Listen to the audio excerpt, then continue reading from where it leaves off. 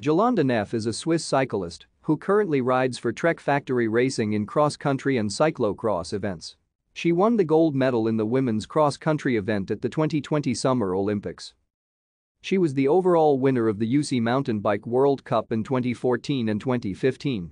She was triple under 23 mountain bike world champion. At the 2017 UCI World Championships in Cairns she became the elite world champion. In June 2015, she won the first gold medal for Switzerland in the women's cross-country event at the European Games in Baku.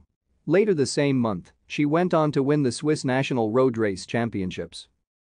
Neff won the UCI Mountain Bike Marathon World Championships in 2016 and Mountain Bike XCO World Championship in 2017.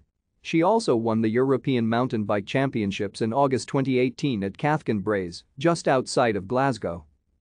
In October 2018, Neff announced that she would join the new Trek Segafredo team for 2019 in road racing and Trek Factory Racing in mountain biking and cyclo-cross. In July 2021, Neff won the gold medal at the 2020 Summer Olympics in Tokyo. Thank you for watching. Like and subscribe if you would like to view more of our videos. Have a nice day.